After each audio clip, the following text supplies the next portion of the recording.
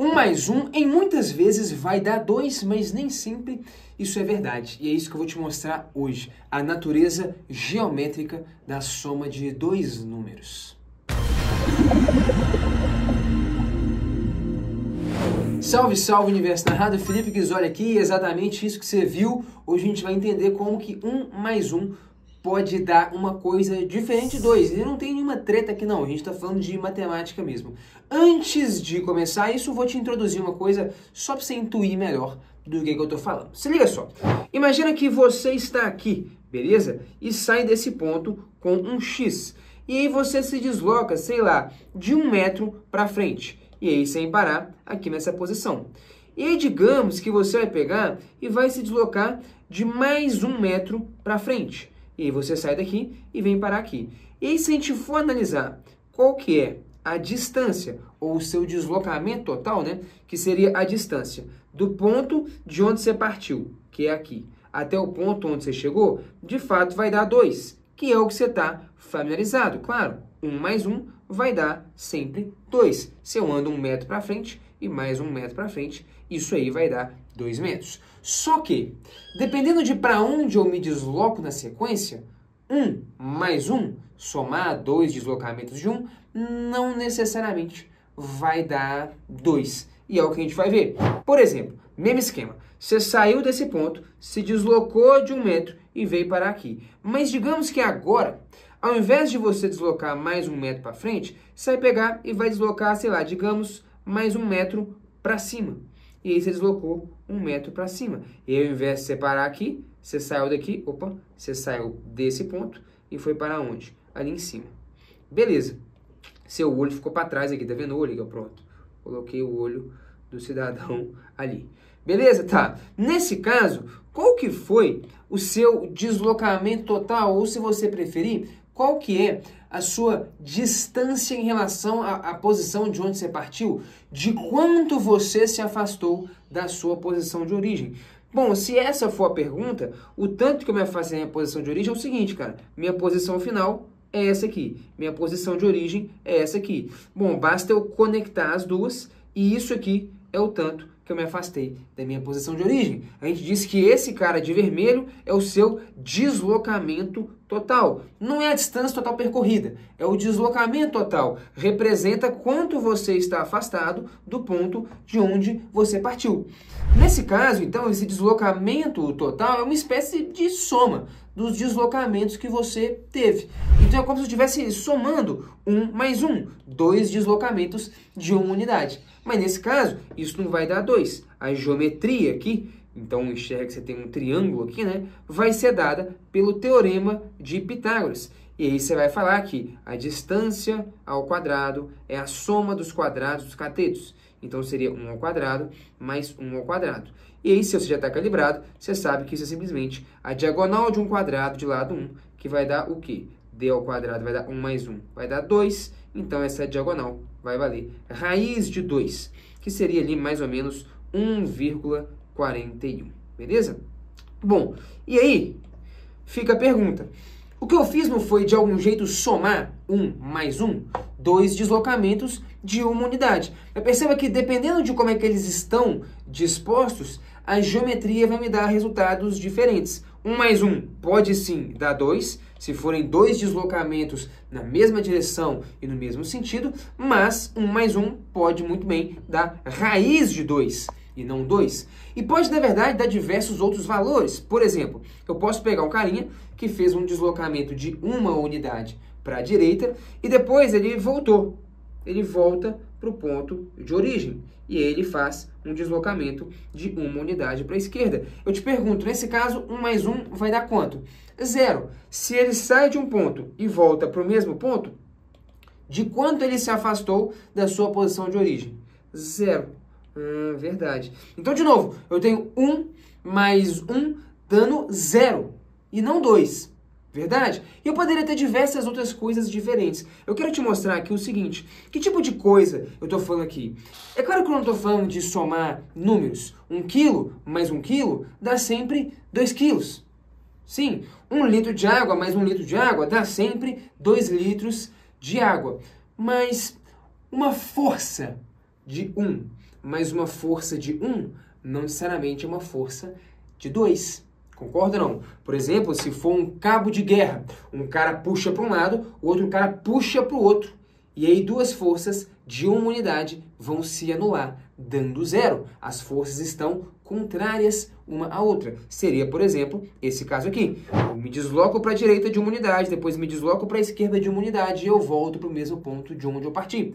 A distância ao meu ponto de partida é zero. Isso aqui seria tipo somar duas forças de uma unidade num cabo de guerra. Mas lógico que somar duas forças de um pode tanto dar zero, se for um cabo de guerra, como pode também dar o quê? 2.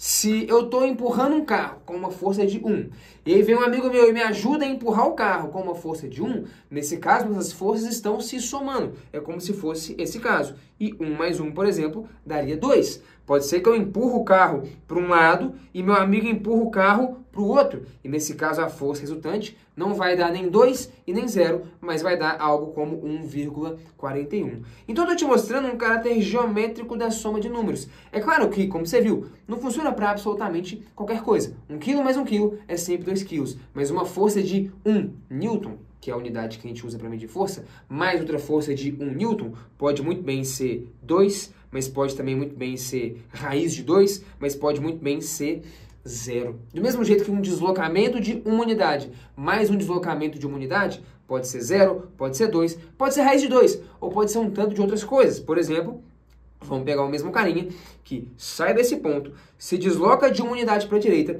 e digamos que agora ele faz um deslocamento também de uma unidade, mas agora para uma direção que, sei lá, faz um ângulo aqui de 60 graus com a horizontal.